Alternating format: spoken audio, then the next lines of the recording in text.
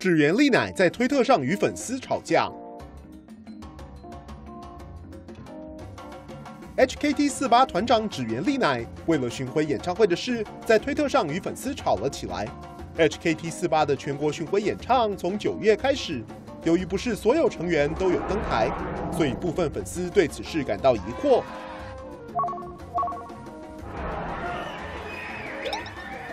该位粉丝后来在推特上 po 文抒发不满，质疑道：“所谓的巡回演唱会不是整个团的演唱会吗？为什么有些团员不能每次都上台？”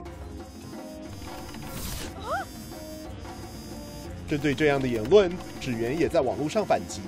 他说：“先生，这是演艺圈耶，每个团员也都有认知。如果要让每个人都上台的话，请你先拿出交通费跟住宿费再说。”结果，其他粉丝也纷纷表达不满。有人说：“凭什么要粉丝出钱？”指原又回说：“本来就没办法让每个人都上台啊。”到底偶像与粉丝双方的互呛会持续到什么时候呢 news？原创贴图开卖喽！快到 Line Store 下载吧。